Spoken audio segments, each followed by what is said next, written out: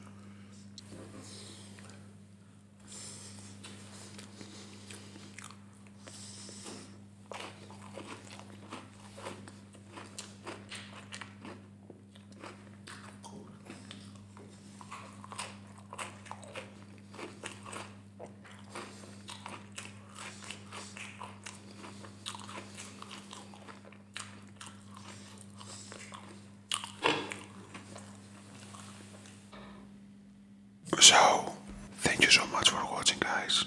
Until next one, before you leave, I have something for you.